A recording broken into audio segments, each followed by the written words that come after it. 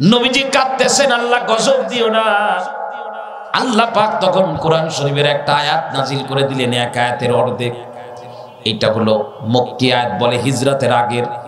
আল্লাহ পাক বললেন, হে নবী, আপনি কোনো চিন্তা করেন না।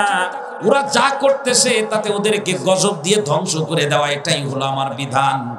কিন্তু আমি গজব এখন দেব না। তার কারণ হলো, ওয়ামা ওয়া আপনি যত সময় তাদের মাঝে থাকবেন, আপনার কারণে তারা হাজার অন্যায় করলেও আমি আল্লাহ তাদেরকে কোনো গজব দেব না। এ মুসলমান আল্লাহ নবীর কারণে আল্লাহ পাক তাদেরকে গজব দেন নাই। ওরা কাজ করছে, গজব পাওয়ার মতো কাজ। আমি আপনাদেরকে কোরআন শরীফের মধ্যে একটু ঘুরাইতে চাচ্ছিলাম, যদি আপনারা রাগ করেন। যদি রাগ না করেন, একটু ঘুরাইনি কোরআন শরীফের মধ্যে। সামুদ জাতিকে আল্লাহ ধ্বংস করেছেন আদ জাতিকে ধ্বংস করেছেন। কি কি অন্যায়ের কারণে ধ্বংস করেছেন, সব কোরআন শরীফের মধ্যে বিস্তারিত আছে। কোন কোন নবীর উম্মতদেরকে ধ্বংস করেছেন কেবলমাত্র ওজনে কম দেওয়ার কারণে। কিসের কারণে? অন্য কোনো কারণ ছিল না, তারা ওজনে কম দিত। নিত বেশি, দিত কম, আছে না? হ্যাঁ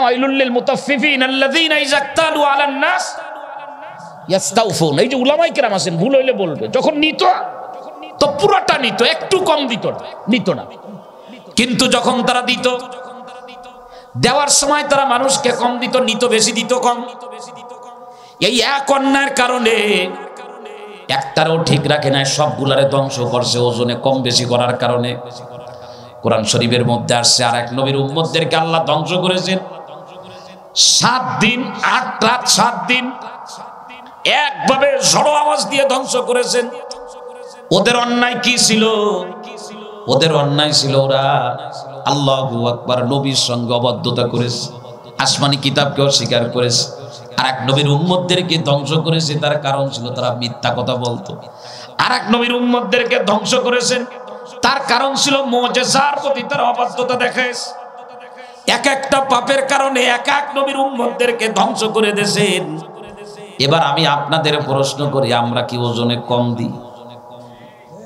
নেওয়ার সময় সলসা তৈরি করে বেশি নি, কথা বলে না। নবী দুনিয়ায় নাই, না এবে নবী উলামাই গ্রামের সঙ্গে। কিছু কিছু মানুষ আছে, গোপালগঞ্জ এমন মানুষ তো নাই, কিন্তু অনেক এলাকা আছে। আমিও বুদ্ধিমান কম না, আমি গোপালগঞ্জে ওয়াজের দাওয়াত বেশি নি। তার কারণ গোপালগঞ্জে উলামাই গ্রামের সঙ্গে বেয়াদবি করা লোক তালাশ করে পাওয়া যায় না। এ জায়গায় যদি কেউ আলেমদের সঙ্গে বেয়াদবি করতে আসি, বিনা পাসপোর্টে বিদেশে পাঠায় দেবে, পাসপোর্টও লাগবে না। গোপালগঞ্জে একই গ্রামে দুইটা দাউরায় হাদিস মাদ্রাসা শত শত মাদ্রাসার ছাত্ররা লজিং থাকে মানুষে খাওয়ায়। এ মুসলমান কিন্তু কিছু এলাকা আছে উলামাই গ্রামের সঙ্গে এত বিয়াদবি করে, এত বিয়াদবি করে যা সহ্য করা যায় না। বলেন ওদের ধ্বংসের কারণ আছে না নাই জোরে কিন্তু আমরা ওজনে কম দিয়ে মিথ্যা কথা বলি। আমরা চুরি করে, ডাকাতি করি। এমন কি ইফতারির প্লেটও আমার কাছে নিরাপদ না, তাও আমরা চুরি করি, ঠিক না বে, ঠিক জোরে বলেন। দুইটা করে খেজুর দিছি, এক একটা প্লেটের মধ্যে। আমার অভিজ্ঞতা, আমার মসজিদ কমিটির সেক্রেটারি বসে আছেন এখানে। মসজিদ কমিটির সেক্রেটারি ছিলেন আপনাদের এলাকার সন্তান হায়দার সাহেব। আমরা মসজিদে ইফতারি ইউনিভার্সিটিতে। দেড় থেকে দুই লক্ষ টাকা আমরা ইফতারির পারপাস ব্যয় করি। ভরপুর ইফতারি হয়। মাঝে মধ্যে অবজেকশন আছে হুজুর প্লেটের মধ্যে খেজুর নাই। খেজুর যাই কই? ধরা দরকার খেজুর যাই কই? একজন ডাক দিয়ে খাদেম সাহেবের দাবল দেয়ার বলে, চোখ কি অন্ধ হয়ে গেছে নাকি? প্লেট দেখেন না, খেজুর কই? খাদেম সাহেব আমারে বলে, হুজুর, আমি কসম করে বলতেছি, আমি নিজের হাতে প্রত্যেকটা প্লেটের ভিতরে দুইটা করে খেজুর দিছি। নেই কয় প্লেটে বলে, দুই প্লেটে নাই। কিছু তো বুদ্ধি আছে, না থাকলে তো ইমামতি করে খাওয়া যায় না, ওয়াজও করা যায় না। আমি বললাম যে, দুই প্লেটে খেজুর নাই। এই দুই প্লেট কি পাশাপাশি নাকি এর মাঝখানে অন্য কোনো প্লেট আছে? বলে যে দুই প্লেটে পাওয়া যায় না মাঝখানের প্লেটে আছে, দুই সাইডের প্লেটে খেজুর নাই। আমি বললাম, আগামী দিন থেকে খেয়াল রাখবা, ভালো করে গোপনে গোপনে কাউরে কিছু বলার দরকার নাই। ঠিক এক রোজাদার, পাক্কা রোজাদার, উনি বসার পরে আস্তে করে দুই প্লেট থেকে দুই হাত দিয়ে খেজুর নিয়ে পকেটে ঢুকাই দিল। জিজ্ঞেস করা হলো, "এ কি ব্যাপার? এ বাহিরে থাকে, আসছে তারা আল্লাহর ইফতারি করায়। এ শুধু এক জায়গায় না, হাজারো মসজিদে এমন ঘটনা ঘটে। মিলাদের প্যাকেট চুরি করার জন্য কিছু নামাজি উঠে পুড়ে লেগে যায়। আমরা চুরি করি মিথ্যা কথা বলি, চগলখুরি করি, মানুষকে ধোকা দেই। গাড়িতে উঠবেন, সে জায়গায়ও ধোকা এ সিট আছে সিট আছে, ওঠেন ওঠেন। গাড়ির ভিতরে উঠায় বলবে, একটু দাঁড়ান ব্যাদগ্রামে গেলে সিট পাবেন। এও আমরা করি পাঁচ টাকা, দশ টাকার জন্য, ঠিক না বে, ঠিক জোরে বলেন। একটা পাউরুটি বিক্রি করবে পাঁচ টাকা দাম। ভ্যানওয়ালা দোকানদার রে বলে, কবেরটা বলে, কেবল মাত্র দিয়ে গেল। একেবারে ডাহা মিথ্যা কথা। হাদিসের ভিতরে আসে মিথ্যা কথা যারা বলে, মাল বিক্রি করবে কিয়ামতের ময়দানে, আমার আল্লাহ তাদের দিকে রহমতের দৃষ্টি দিবেন না। বলে, কেবল দিয়ে গেছে। ভ্যানালা বেচারা সকালবেলায় পাউরুটি মুখে দিয়ে বলে, ভাই, একটু টক টক লাগে। বলে, এটা সকালে আসছে এটা ভ্যানালাদের জন্য। এটার মধ্যে একটা মেডিসিন দেওয়া আছে, ওইটা ভ্যানালাদের ভ্যান চালাইতে সুবিধা হবে, তাই একটু টক টক লাগে। ভ্যানালা বলে, খাই বিসমিল্লা বলে, যা হয়, ইট পাটকেল হজম হয়। ভ্যানালা খাইতে খাইতে জানি দোকানদার তার বন্ধুরে নিয়ে বসে আছে দুইজন ফজরের নামাজ পড়ে আসছে রাগ করেন না আপনারা, রাগ করেন না, আমার উপরে আমার কথায় রাগ করবেন না। এগুলো এখন এখন আর গুণা মনে করা হয় না এগুলারে। বলতেছে, তুমি নামাজ পড়ে আসলে এত বড় মিথ্যা কথা বললে, এই রুটি তো কালকের রুটি। বলতেছে, এই পাঁচ টাকার রুটি নষ্ট হয়ে যাবে। ইসলামী শরিয়াতের জিনিস নষ্ট করা এটা জায়েজ নাই। এই জিনিসটাকে রক্ষা করার জন্য এতটুকু মিথ্যা কথা বলা জায়েজ আছে। এ মুসলমান আমার দিকে লক্ষ্য করেন। এমন কোন অন্যায় নাই, যা আমরা করি না, যে অন্যায়ের কারণে পূর্বের পূর্বের জামানায় নবীদের উম্মতদেরকে সবুলে ধ্বংস আল্লাহ পাক করেছেন। সব অন্যায় আমাদের ভিতরে আছে। এরপরেও বহাল তবিয়াতে আমরা চলে ফিরে খাইতেছি, বিয়ে শাদী করতেছি। পোলা পান হচ্ছে ঘর বাড়ি বানায়। এর একমাত্র কারণ হলো, মক্কার মানুষের অন্যায় গজব আসে নাই নবীর কারণে না এবে নবী উলামাই কেরাম থাকার কারণে। এ জমিনে হাজারো অন্যায় করে এখনও পর্যন্ত আমি আর আপনি ভালো আছি। যেদিন না থাকবে, সেদিন বোঝা যাবে কি অবস্থা। আল্লাহ আকবার। আব্দুল কাদের জিলানি রহমাতুল্লাহ আলাই প্রতি রাত্রে নামাজ প্রতি রাত্রে পড়া ভালো লাগে না কি বলে এটা? যেদিন ফজরের নামাজ পড়তে না পারে, বলে ভালো লাগে না। জোহর না পড়লে ভালো লাগে না, খাইতেও ভালো লাগে না। আসর না পড়লে বিকালটা বৃথা যায়। মাগরিব না পড়লে ভালো লাগে না। শাহ না পড়লে ভালো লাগে না। রাত্রে তাহাজ্জুদের নামাজ পড়তেছে। শয়তান বলে রে যে কোনো ভাবে তাহাজ্জুদের নামাজ ছুটানোর দরকার। এত ভালো ভালো না। শয়তান এবার ধোকা দেওয়ার জন্য একদিন আস। আল্লাহু আকবার কিন্তু আসছে যে এমন রূপ নিয়ে আসছে গভীর রাত তাহাজ্জুদের নামাজের মধ্যে আসি। ডাক দিয়ে বলতেছে ও হে আব্দুল কাদের, এত সুন্দর করে ডাকতেছে নামাজ শেষ করার পর বড় বীর আব্দুল কাদের জিলানি রহমাতুল্লাহ আলাইহি বলেন কেরে তুমি? বলে, আমি আল্লাহর ফেরেশতা জিবরাইল। কি ব্যাপার? বলে, আল্লাহ পাক পাঠাইছেন, আর আপনার কষ্ট করা দরকার নাই। আপনি যে পরিমাণে নামাজ পড়ছেন, আল্লাহ খুশি হয়ে দুনিয়ার সমস্ত হারাম আপনার জন্য হালাল বানায় দিছি বলে, ব্যাপার কি কি বলে? কারণ দুনিয়াতে যেটা হারাম কিয়ামত পর্যন্ত সেটা কোনোদিন হালাল হবে না। ঠিক না বে, ঠিক জোরে বলেন। দুনিয়ায় যেটা হালাল আল্লাহ পাক করেছেন, কিয়ামত পর্যন্ত পৃথিবীর সব মানুষ মিলে চেষ্টা করলে ওই হালালটাকে হারাম বানাইতে পারবে না। এটা একেবারে মোহর মেরে দেওয়া হয়েছে। বড় পীর আব্দুল কাদের জিলানি যেই বলছে, হারামগুলো আপনার জন্য হালাল করে দেওয়া হয়েছে। আপনি এখন চাইলে যে কোনো মহিলার গায়ে হাত দিতে পারবেন। যে কোনো জিনিস আপনি খাইতে পারবেন। মদ, গাঁজা ভেন্সিনিল যা যান বড় পীর আব্দুল কাদের জিলানির আর বুঝতে বাকি নাই। এই কথাটা বলার জন্য এতগুলো কথা আমার বলা লাগল। বড় পীর আব্দুল কাদের জিলানি তখন বলতেছে, আউযু বিল্লাহি মিনাশ শাইতানির রাজিম। যেই বলছে আর জিব্রাইল আর গেছে বড় পীর আব্দুল কাদের জিলানি বলে "ওই জিব্রাইল গেলে কই? কিছু সময় পরে এসে বলতেছে, আমি জিব্রাইল না। আমি হলাম ইবলিশ শয়তান, আসছিলাম তোমারে ধোকা দেবো, কিন্তু দিতে পারলাম না, মন খারাপ করে পুঁজি মার গেল, বাড়ি চলে যায়। যদি সম্ভব হয় গাড়ি ভাড়াটা ফেরত দেন। বলে, তোর গাড়ি ভাড়া দেবো, তুই কি ধোকা দিতে আইস আগে তাই বল। বলে, ধোকা দিচ্ছিলাম যে তোমার মুখের মধ্যে হারাম ঢুকায় দেব, কিন্তু পারলাম না তোমার ধোকা দিতে, আমার মনে বড় কষ্ট। তোমার এই জায়গায় না এসে অন্য জায়গায় গেলে মনে আমার ভালো হতো। জিজ্ঞাসা করে, অসুবিধা কি আমার কেন ধোকা দিতে পারো না? আমি তো বড় কেউ না। বলে, এর কারণ হলো ধোকা এর জন্য দিতে পারি নাই, তোমার কাছে এলমে ওজির জ্ঞান আসি কিসের জ্ঞান জোরে বলেন? আরও জোরে বলেন, এলমে ওহির জ্ঞান। যারা মাদ্রাসায় পড়ে, কোরআন আর হাদিসের জ্ঞান যাদের কাছে থাকে, আসমানি কিতাবের জ্ঞান যাদের কাছে আছে, সে জানে, কোন ব্যক্তি যদি হাজারো ইবাদত বন্দেগী করে এই দুনিয়াতে মত কোনোদিন তার জন্য হালাল হবে না। ঠিক না ঠিক জোরে বলেন? হযরতে ইউসুফ আলাইহিস সালাম বলে আমার আল্লাহ আমারে বাঁচাবে মাআযাল্লাহ ইন্নাহু রব্বি আহসানা মাথওয়াজ আমার আল্লাহ পাক উত্তম পরিত্রাণ দানকারী উত্তম জায়গা আমার আল্লাহ পাক আমার জন্য দেখায় দিবেন। আল্লাহু আকবার, আল্লাহর পক্ষ থেকে সাহায্য আসা শুরু হয়ে গেল। তাফসীরের কিতাবের মধ্যে আছে কি সেই সাহায্য? কোরআনে কারিমের আয়াতে আসছে, লাউলা আর রাআ বুরহানা রাব্বিহি।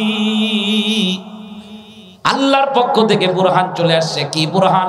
তাফসীরের কিতাবের মধ্যে আসছে, ওই ঘরের ভিতরে অন্ধকার ঘর। দেখে যে উপরে লেখা, ওয়ালা তাকরাবুজ জিনা ইন্নাহু কানা ফাহিশা। খবরদার খবরদার, জিনার কাছে যেও না। জিনা হলো অশ্লীলতা, এটা বেহায়া কাজ, আল্লাহর কাছে অপছন্দনীয় কাজ। এইটা দেখার পরে নিজের জায়গায় আর বসে থাকেন না। বন্ধ দরজা, জানে দরজাগুলো বন্ধ। খোলার মতো কোনো চাবি নিজের কাছে নাই। তারপরে দৌড় দিয়ে দরজার কাছে চলে গেছেন। যেই দরজার কাছে গেলেন, আল্লাহ রব্বুল আলামিন, বান্দা যখন শক্তি শেষ হয়ে যায়, বান্দার শক্তি শেষ হলে আল্লাহর শক্তি এসে যোগ হয়। উনি দরজা পর্যন্ত দৌড়ায় গেলেন। আল্লাহর পক্ষ থেকে আল্লাহ পাক দরজা খোলার ব্যবস্থা করে দিলেন। বাহিরে চলে গেলেন। জুলাইখা পারে নাই কোন রকম ইউসুফকে দিয়ে খারাপ কাজ করাইতে। এগুলি বলা আমার উদ্দেশ্য ছিল না। এরপরে বেশ লম্বা আলোচনা। এলাকার মহিলারা যখন শুনছে যে ইউ- ইউসুফের নামে একটা ছেলে, তার কোনো বাড়ি নাই, গাড়ি নাই, তার কোনো পরিচয় ভালো নাই, কোনো প্রপার্টি নাই, কিচ্ছু নাই। তারে দেখে মন্ত্রীর বউ পাগল হয়েছে, কত বড় খারাপ কথা সমালোচনা শুরু করছে। তো জুলাইখা এই সমালোচনা শুনে যারা সমালোচনা করেছে ওদেরকে ডেকে নিয়ে আসছে। লম্বা কথা কোরআনের আয়াতের মধ্যে আসছে, তাদেরকে খাইতে দেশে খেতে দেশে যে আস্ত আস্ত ফল কাটার জন্য ছুরি দিয়ে দেশে যখন ফল হাতে নিয়ে ছুরি দিয়ে কাটবে, তো এক ঘরের মধ্যে থাকা ইউসুফকে জুলাইখা বলতেছে ওয়াকাল আতিখরুজ বের হও। ইউসুফ, তুমি এখন বের হও। বের হয়ে মহিলাদের সামনে গেছে, এত সুন্দর চেহারা। মহিলারা এরকম তাকায়, চোখ আর নিচের দিকে নিতে পারে নাই। জুলাইকে বলতেছে ফল কেটে খাওয়া শুরু করো। ইউসুফের দিকে তাকায়, ফল কাটতে কাটতে অকত্ত না আই দিয়া হন না আঙ্গুল কেটে ফেলেছে, টের পাই নাই কখন আঙ্গুল কেটে গেছে। শুধু আঙ্গুল কাটে নাই, ওই মহিলারা বলতেছে ইনহাজা ইল্লা মালাকুল করিম। এ কোনো মানুষ হতে পারে না। এটা তো নিশ্চিত একজন ফেরেশতা। তো জুলাইখা তখন মহিলাদের বলতেছে, তোমরা আমার সমালোচনা করো। আমি তো মানুষকে ফেরেশতা বলি নাই, শুধু পাগল হয়েছি।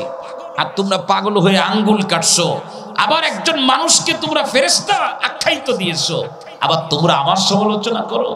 ওই মহিলারা তখন বলতেছে, সরি, ভুল হয়ে গেছে। ভুল হয়ে গেছে, আপনি আমাদেরকে ক্ষমা করে দেন। বলে, ক্ষমা আমি করে দিলাম। তবে তোমাদের কাছে আমার দাবি তোমরা সবাই একত্রিত হয়ে আমি যে কি, আমি যে কি করতে পারি, আমার পাওয়ার কত, এই কথাটা তোমরা একটু যে ইউসুফকে একটু বুঝায় আসো। আর তাকে বলো যে, আমি তাকে যে বলতেছি, আমার সঙ্গে মিলামেশা করতে, আমার চাহিদা পুরা করতে, এটা যদি না করে, আমি কিন্তু তাকে লায়ুস জানান না তাকে কিন্তু জেলখানা আটকানাবো তাকে জেল খাটতে হবে, কিন্তু এটা বলে দিয়ে আসো তাকে। এবং তাকে অপদস্থ হতে হবে, লাঞ্ছিত হতে হবে, অপমানিত হতে হবে তাকে। এটা বলে দিয়ে আসো তাকে, যাও। সব মহিলারা চলে গেল। ইউসুফকে যে বলে, ইউসুফ, তুমি তো চেরো নাই মন্ত্রীর বিবিকে। তোমারে কিন্তু জেলখানায় দেবে, অপমান করবে। তোমাকে লাঞ্ছিত করবে, তুমি তার চাহিদা পুরা করো। তার কথা মেনে নিয়ে সে যা বলে তাই তুমি শোনো।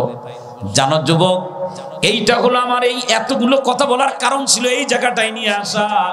হজরতে ইউসুফ আলী ইসালাম মহিলাদের কণ্ঠে যখন এই কথা শুনলেন, শোনার পরে যা বলছিলেন, আল্লাহ পাক কোরআন শরীফের ভিতরে আমার আর তোমার জন্য রেকর্ড করে দিয়েছেন। আল্লাহ রব্বুল আলামিন কোরআনে কারিমের মধ্যে বলেন, ইউসুফ তখন বলল রব কলা সিজনু আহাব্বু ইলাইয়া মিম্মা ইয়াদউনানি ইলাই। তারা সবাই মিলে যে গর্হিত আর গুনার কাজ করার জন্য আমারে ডাকতেছি, এই গুনার কাজ করলে জাহান্নামের আগুন ছাড়া আর কোনো উপায় নাই পরকালে। সুতরাং আল্লাহ আমি তোমাকে জানায় দিচ্ছি, তারা যে কাজের জন্য আমারে ডাকতেছে, ওই কাজ না করার কারণে আমারে জেলখানায় দেবে। আল্লাহ আমার কাছে ওই কাজ করার থেকে জেলখানার ভিতরে আবদ্ধ থাকাটা বেশি প্রিয়। তারপরও আমি গুনাহ করতে পারব না। আমি আপনাদের পায়ের ভিতরে হাত রেখে বলি জাহান নামের আগুনের ভয় অন্তরের মধ্যে ঢুকাও। আমাদের এই কান্না আমাদের চোখের পানি আর শরীরের ভিতর থেকে ঘাম বের করা। কোন রাজনৈতিক দলের এজেন্ডা বাস্তবায়ন না। শুধু একটা এজেন্ডা বাস্তবায়ন করে, চলো আল্লাহর দিকে চলো। শয়তানের দাসত্ব ছেড়ে দিয়ে গুনার কাজ পরিহার করো। জাহান্নামের আগুন থেকে বেঁচে জান্নাতের ভিতরে যা জাহান্নামের আগুনের ভয়াবহতা কত? যুবক, তোমরা ভালো করে শোনো। যুবতী বোন যারা এসেছে, ভালো করে শোনো। যাদের নামাজ পড়তে ভালো লাগে না, মিথ্যা কথা বাদ দিয়ে সত্য কথা বলতে ভালো লাগে না। চোখের সামনে কোনো বেকানা নারী আসলে কন্ট্রোল করতে মোটেই ভালো লাগে না। আল্লাহু আকবার রাষ্ট্র বিরোধী বলো। আর মানব বিরোধী কোনো কাজ করতেও যাদের কলিজা কাঁপে না, তাদেরকে বলতেছি জাহান নামের আগুন কত ভয়াবহ হবে। আল্লাহর নবী বলেছেন সব থেকে কম আজাব যারা হবে জাহান নামের সব থেকে কম আজাব যারা হবে, তার আজাবের বর্ণনা নবীজি হাদিসের মধ্যে দিয়েছেন, সহি হাদিস। আল্লাহর নবী বলেছেন, আখমাসা কদামাইহি, পায়ের নিচের দুইটা সোল্ড আগুন দিয়ে তৈরি করা হবে। আগুন দিয়ে দুইটা সোল তৈরি করা হবে। জুতা স্যান্ডেলের নিচের পাট যেটাকে সোল বলা হয়, এটা তৈরি করা হবে। উপরে কিছু থাকবে না, শুধু আঙ্গুল দিয়ে দুইটা, আগুন দিয়ে দুইটা সোল তৈরি করা হবে। জাহান্নামীকে ধরে ওই আগুনের সোল্ডের উপরে দাঁড় করানো হবে, জুতার উপরে দাঁড় করানো হবে। যেই না আগুনের উপরে দাঁড় করাবে, শুধু পায়ের নিচে আগুন, হাতে কোনো আগুন নাই, মাথায় কোনো আগুন নাই। বিশ্ব নবী হাদিসের মধ্যে বলেছেন, ও সাহাবিরা, শুনে রাখো, ইয়াগলি দিমা গুহু। পায়ের নিচের ওই আগুনের কারণে মাথার গিলুগুলো টকবক করতে থাকবে। মাথার গিলু টকবক করতে থাকবে। কয় দিনের দুনিয়া? কয় দিনের দুনিয়া? সেদিন দেখো নাই গাড়ি অ্যাক্সিডেন্ট রওনা হয়েছে নাজিরপুর থেকে, পিরোজপুর থেকে, ঢাকার উদ্দেশ্যে। পৌঁছাইতে পারে নাই। টুঙ্গি পাড়ায় সে সড়ক দুর্ঘটনায় কতগুলো মানুষ মারা গেল। আমার আর তোমার মৃত্যু কালকে সকালেই হতে পারে। এই রাত্রে আমি আমার বাড়িতে নাও ফিরে যেতে পারি। কত বড় দুঃসাহস, গুনার বোঝা মাথায় নিয়ে হাঁটি। নামাজ, একের পরে এক নামাজ আমরা নষ্ট করি। আমি পায়ের ভিতরে হাত রেখে বলি আমরা দেওবন্দি, আমরা দেওবন্দের সিলসিলায় চলতেছি। আমাদের দেওবন্দ মাদ্রাসার একজন মোহতামিমের ঘটনা। আমার কাছে কিতাব আছে, কিতাবের মধ্যে আসছে। আসুরের নামাজে তাকবিরে উলা ছুটে গেছে। মাদ্রাসার মাহফিল ছিল ব্যস্ততার কারণে। মাগরিবের নামাজের আগে অসুস্থ হয়ে পড়ছে রীতিমতো। ডাক্তার চিকিৎসার জন্য আসছে। হাত ধরেছে বলে, আপনার চিকিৎসার জন্য এসেছি। বলে, আমি অসুস্থ না, আমারে ছেড়ে দাও। আমি যদি কোনো রকম মাগরিবের নামাজ পড়তে পারি, আমি সুস্থ হয়ে যাব। মাগরিবের নামাজ পড়ছে তাকবিরে উলার সঙ্গে। মাগরিবের নামাজের পরে বহাল তবিয়াতে সুস্থ মানুষ সবাই আশ্চর্য হয়ে জিজ্ঞেস করল, মাগরিবের নামাজের আগে আপনার অবস্থা কি ছিল? আর এখন কি হয়ে গেছে? আমরা বুঝলাম না, এটা আবার কোন ধরনের রোগ? তখন ওই আল্লাহর অলি বলতেছেন, শোনো শোনো, আমার কোনো রোগ নাই।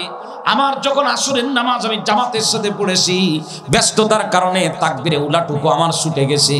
আমি তখন পেরেশানিতে পড়ে গেছি। আমার মৃত্যু যদি মাগরিবের নামাজের আগে হয়ে যায়, বিশ্বনবী হাদিসের মধ্যে মুসলিম শরীফে বলেছেন, ইউবাসু কুল্লু আবদিন আলা মা মাতা আলাইহি। যে মানুষ যে আমলের উপরে মারা যাবে, ওই আমল সহ কেয়ামত কেয়ামতের ময়দানে তারে উঠানো হবে। আমার আসরের নামাজে তাকবিরে উলা নাই। এই অবস্থায় যদি আমাকে কেয়ামতের ময়দানে উঠতে হয়, আমি কীভাবে আল্লাহর সামনে মুখ দেখাবো? কিন্তু মাগরিবের নামাজ তাকবিরে উলার সাথে পড়েছি, আর কোনো চিন্তা নাই। যে সার নামাজের আগে যদি আমার মৃত্যু হয়ে যায়, আমার জীবনের শেষ নামাজে তাকবিরে উল্লাহ সহ পড়েছি, আমার কোনো ভয় না এবার আমি আপনার ওই মানুষগুলি যারা নামাজ পড়ে না, দিন মানে না ইসলাম মানে না, মাহফিল মানে না, মাদ্রাসা মানে না, মসজিদ মানে না। ওই মানুষগুলিকে বলব, শুধুমাত্র তাদের চিন্তা হলো দুনিয়া দুনিয়া। আর বলে কি জানেন? বলে, হুজুর আল্লাহ দুনিয়ায় পাঠাইছে দুনিয়া করার জন্য, আর আপনারা কোনগুলো পরকাল করতে শুধু দুনিয়া করে? এ আমার দিকে খেয়াল করেন, কিন্তু কেউ যদি দুনিয়ার পিছনে দৌড়ায় আমি আপনাদেরকে সংক্ষিপ্ত ভাবে বলি, একশো বছর যদি দৌড়াইতে থাকে দুনিয়ার পিছনে, একশো বছর বিরতিহীন ভাবে দৌড়াবে। এই দুনিয়ায় আল্লাহ পাক তার জন্য যতটুকু বরাদ্দ দিয়েছেন, ওর থেকে এক জাররা পরিমাণ দৌড়ায় বাড়াইতে পারবে না। বুঝাইতে পারছি কিনা জানি না। আর আমি দুনিয়ার পিছনে একদিনও দৌড়াবো না। আমি ব্যবসা করব কিন্তু ইসলাম অনুযায়ী। আমি রাজনীতি করি কিন্তু কোরআন হাদিস মেনে করি। আমি চাকরি করি কিন্তু কোরআন হাদিস মেনে করি। আমি পরকালকে সামনে নিয়ে দৌড়াই আমার দিকে খেয়াল করেন। বলে যে আমার তকদিরে যদি আল্লাহ পাক এক কোটি টাকার ভোগ এটা আল্লাহ পাক লিখে থাকে আমি দুনিয়ার পিছনে একদিনও দৌড়াবো না। আমি পুরা জেন্দেগিটাকে ইসলাম অনুযায়ী চালাবো। আল্লাহ পাক আমার জন্য যা বাজেট করেছেন, এর একটা টাকাও আমাকে কেউ বঞ্চিত করতে পারবে না। আমি দৌড়াইলে আমারটাই আমি পাবো, না দৌড়াইলে আমারটা আমি পাবো। এবার আপনারা বলেন, আমি কি দৌড়াবো নাকি আমার আল্লাহর দিকে দৌড়াবো? দুনিয়ার পিছনে না আল্লাহর পিছনে? আমি তো না দৌড়াইলেও আমারটা আমি পাবো। আমাদের অবস্থা হলো, আমরা শুধু দুনিয়ার পিছনে দৌড়াইতে শিখছি। আর কিছু কিছু লোক বলে, হুজুর, ওই লোকটা দেখেন, আপনি তো বলেন আমরা মসজিদে আসি, আমরা কিছু করতে পারি না, সে কত কিছু করে। ও যে কত কিছু করতেছে, ও মসজিদে আসলে ওইটা পাইতো। কিন্তু পার্থক্য কোথায়? আমার দিকে খেয়াল করেন, পার্থক্য কোন জায়গায়? একটা ঘটনা আমি আস্তে আস্তে গাড়িতে বসে ঘটনাটা নামাইতেছিলাম। আল্লাহু আকবার ঐতিহাসিক ঘটনা। হযরত আলী রাদিয়াল্লাহু তাআলাহু সম্পর্কে কিতাবের মধ্যে আসছে। হযরত আলী রাদিয়াল্লাহু তাআলাহু একবার বের হয়েছেন। বের হয়ে প্রতিমধ্যে উনি মসজিদের ভিতরে ঢুকবেন। মসজিদের ভিতরে যখন ঢুকবেন, যে যানবাহনে উনি সর হয়ে আসছিলেন এই ঘোড়া, এই ঘোড়াটা উনি কার জিম্মাদারিতে দিয়ে যাবেন? তো উনি মসজিদের ভিতরে ঢুকলেন। আর ওই জায়গার ভিতরে এক লোক দাঁড়ানো ছিল। ওই লোকটাকে উনি বললেন, ভাই, তোমার তো মসজিদে এই মুহূর্তে যাওয়ার দরকার নাই। আমি নামাজ পড়ব মসজিদের ভিতরে। তুমি আমার ঘোড়া আর আমার এই ঘোড়ার উপরে যত মাল সামান আছে, একটু পাহারাদারি করো, আমানাত রেখে গেলাম তোমার কাছে। আমি তোমার কাছে আমানাত রেখে গেলাম। কিতাবের মধ্যে আসছে, আমানাত রেখে উনি মসজিদের মধ্যে ঢুকলেন, নামাজ পড়লেন। এ, আমার দিকে খেয়াল করেন, মসজিদ থেকে বের হওয়ার পর এসে দেখে ওই যে লোকের কাছে আমানাত রেখে গেছিল, ঘোড়া দাঁড়ায় আস কিন্তু ওই লোকটা নাই। ঘোড়ার পিঠের দিকে তাকায় দেখে, ঘোড়ার পিঠে বসতে গেলে যে জিনিসটা দেয়, ঘোড়া চালাইতে গেলে ঘোড়ার মুখের ভিতরে যা লাগায়, এর কোনোটা নাই, সব খুলে নিয়ে গেছে, কিন্তু ঘোড়া দাঁড়ায় আছে। মানুষ বেইমানি করেছে, কিন্তু ঘোড়া তো বেইমানি করতে পারে না। কিতাবের মধ্যে আছে ঘোড়া দাঁড়ানো। হজরত আলী রাদি আল্লাহ ঘোড়া এবার চালাবেন। কিন্তু ঘোড়া চালাইতে গেলে ঘোড়ার পিঠে উঠে যদি ঘোড়া চালাইতে যাই ঘোড়ার পিঠে যে জিনিস দেয় ঘোড়ার মুখের মধ্যে যেটা দেয়, এই লেগাম ছাড়া তো ঘোড়া চালানো যাবে না। এবার ঘোড়াটা ধরে নিয়ে হাঁটতে হাঁটতে পাশে এক বাজারে গেছে। বাজারে গেছে, এইটা কিনবে নতুন ভাবে কিনে আবার ঘোড়ারে পড়ায়, তারপরে ঘোড়া চালাবে। আল্লাহু আকবার কিতাবের মধ্যে আসছে যখন দোকানে কিনতে গেল, দোকানে যেয়ে দেখে ঠিক আলী রাদি আল্লাহ ঘোড়ার যে লেগাম ওইটাই ওনার দোকানের মধ্যে টাঙানো। আশ্চর্য হয়ে জিজ্ঞাসা করে, কি ব্যাপার ভাই, এটা কোথার থেকে আসলো? এটা কে বিক্রি করেছি? আমার তো একটা কিনা দরকার, এইটা তো আমার ছিল। দোকানদার জিজ্ঞাসা করে, আপনি কত দিয়ে কিনবেন? হজরত আলী রাদি আল্লাহ নিজের ক্যাপাসিটির কথা জানালেন বলে আমি দশ দেড়হাম দিয়ে কিনতে পারি।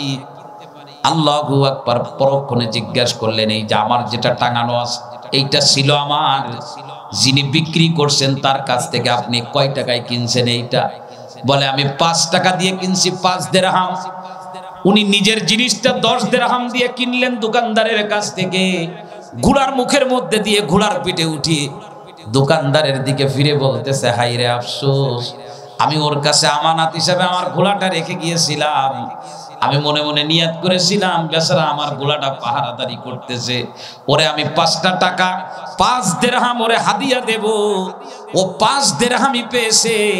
কিন্তু দুনিয়ার পিছনে দৌড়ানোর কারণে, দুনিয়া মুখে হওয়ার কারণে পাঁচটা দেড়হাম পেয়েছে, কিন্তু হালাল ভাবে নয়, বরং হারাম ভাবে পেয়েছে।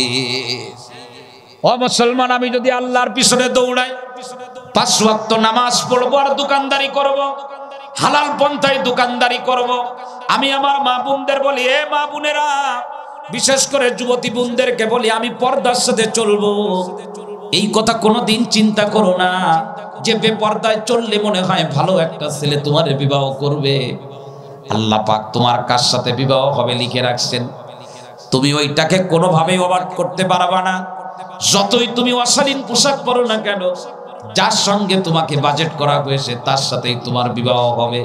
তবে এখানে একটা কথা আছে, তকদিরের মাসালা যখন আমরা পড়েছি, আমাদেরকে বলা হয়েছে, তোমার তকদিরে যদি কোনো অবাধ্য ছেলে থেকে থাকে, দুশ্চরিত্রবান কোনো ছেলে যদি তোমার তকদিরে থেকে থাকে, আর তুমি যদি এখন ওয়াক্ত নামাজ পড়ো রে বোন, পর্দার সাথে চলো, আর চোখের পানি ফেলে ফেলে আল্লাহরে বলো, আল্লাহ, আমার আব্বা, আমার মা আমারে কত আদর করে লালন পালন করেছে।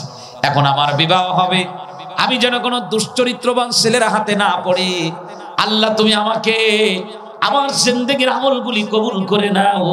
এর ওসিলাই হলেও আল্লাহ, তুমি একটা ভালো ছেলের হাতে আমারে পৌঁছায় দাও। এমন করে যদি দোয়া করতে পারেন আশ্বরিয়াত মেনে চলতে পারেন। আপনার জন্য যাকে বরাদ্দ করা হয়েছিল, আল্লাহ পাক ওইটাকে বাদ দিয়ে ওই ভালো ছেলের কাছে আপনারে পৌঁছায় দিতে পারে। কিন্তু যদি বেপরদায় রাস্তা মেপে বেড়ান বোঝেন আমার কথা? বেপর্দা রাস্তা বাবা বোঝেন না? কি পোশাক পরে? আজীব পোশাক। আজীব পোশাক। আমি পায়ে হাত রেখে বলতেছি, আজীব পোশাক পরে। গল্লামারিতে রাস্তার উপরে মোটর সাইকেলের পিছন থেকে পড়ে গেল, আর গাড়ির চাকার তলে মাথায় যে এক, দুই মিনিটের ভিতরে একটা মেয়ে মারা গেল। পরনে যে কাপড়টা দেখা যায় না মুহূর্তের ভিতরে আমাদের চোখের সামনে মাগরিবের আজানের আগ দিয়ে। এগুলো মৃত্যু। আমি বেপরদায় চলতেছি, এই অবস্থায় যদি আমার মৃত্যু হয়ে যায়, তো হিরণ মাদ্রাসার মোহতামিম যে আমার পাঁচ খণ্ড কাপড় পরাবো, একেবারে রাবেয়া বসরি বানাবে আমাকে।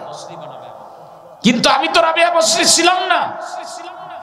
আমার কাছে পোশাকের বড় ধন্যতা ছিল। আমি পাঁচ খণ্ড পোশাক একই সময় জীবনে কোনোদিন পরি নাই। পোশাক কমাইতে কমাইতে এমন জায়গায় নামায় নামানো হয়েছে ওয়ান পিস কেনে ওয়ান পিস না প্যান্টের পিস আছে, পায়জামার পিস না উড়না আছে ওয়ান পিস শুধু জামা। আজীব এক দুনিয়া আমরা এসে পড়েছি। অথচ এমন একটা মেয়ে যার পরনে শালীনতাপূর্ণ কোনো পোশাক নাই, সে যখন মারা যায়, তখন আমরা তার এমন কাপড় পরাই এমন ভাবে পাঠাই কবরের মধ্যে ফেরেস্তারাও মনে হয় মানে ভাবে মনে হয় যে হিমশিম খেয়ে যাইতেছে। যে তো কে এইটা? প্যাকেট তো এক নাম্বার, মাল কয় নাম্বার? মেড ইন চায়না লেখা প্যাকেটে, কুটালি বাড়ার জিনিস যদি ঢুকানো হয়, গণপ্রজাতন্ত্রী বাংলাদেশ সরকারের আইনে তার নামে মামলা হয়। না হয় না? কথা বলে না। মেড ইন জাপান লেখা প্যাকেটের গায়ে মেড ইন জাপান লেখা। ঢুকাইতেছেন আপনি, টুঙ্গি পাড়ায় বসে বসে কোনো জিনিস বানায়। ওর মধ্যে ঢুকায় প্যাকেট করে দিচ্ছেন। এই কারখানা যদি পুলিশের চোখে পড়ে, আপনারা সকাল বেকাল দুইবার নাস্তা করাবে না? কথা বলে না। আমার তো ভয় হয় যে আমার মতো হুজুর, আমরা যারা এই অশালীন পোশাক যারা পরে, এদেরকে যে পাঁচখণ্ড কাপড় দিয়ে রাবেয়া বসলি বানায়, না জানি আমাদের নামে কতগুলো মামলা হয়ে আসছে। আল্লাহর আদালতে। ও তুমি যে পোশাক পরো, সেই পোশাক নিয়ে তো তুমি কবরে যেতে পারবা না। শালীনতাপূর্ণ পোশাক পরো। যুবতীরা শালীনতাপূর্ণ পোশাক পরো। হজরত আলী রাদি আল্লাহ তালানহুর কথা এই জন্য বললাম, আফসুস করে বলতেছে, আজকে দুনিয়াদারদের অবস্থা হলো এইটা। কিন্তু যারা দিনদার, আল্লাহ পাক ওই দুনিয়াদার হলেও যা পাবে, দিনদার হলেও ওইটা পাবে।